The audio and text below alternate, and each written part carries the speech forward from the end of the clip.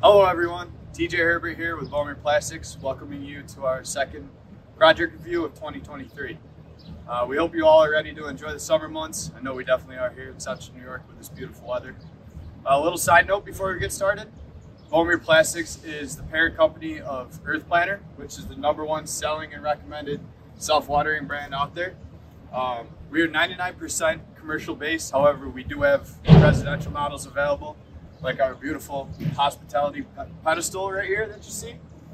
Um, we have about 12 different ground models available, uh, ranging in multiple different colors, and we also have two hanging basket models available.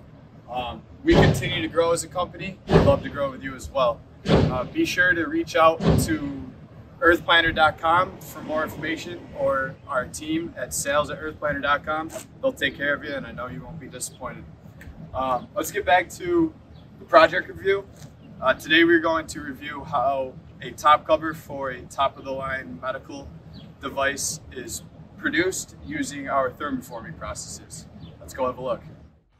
This cover starts off as an extruded sheet of a quarter inch thick blue PETG. We form this part using a male highly polished temperature controlled mold from the top platen so the mold comes down and protrudes into the material, along with a pre-draw vacuum box on the bottom platen. With a male mold, we are maintaining the inside dimensions, which is the functional side of the cover.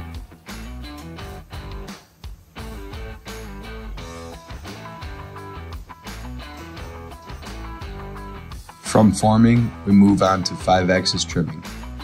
You will see that we use a few different cutters here as it all depends on the geometry of the part and the type of cut that is needed. Thankfully, these CNC machining centers have the capability of up to 10 different tool changes.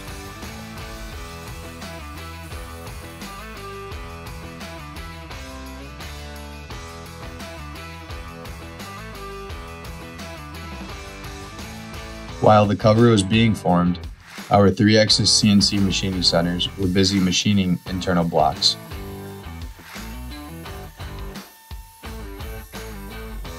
Once the part is fully machined, we transfer it to the assembly fixture. Here we assemble the three cast acrylic mounting blocks that were machined on the 3-axis machining centers. These mounting blocks are manually adhered to the cover using an acrylic adhesive.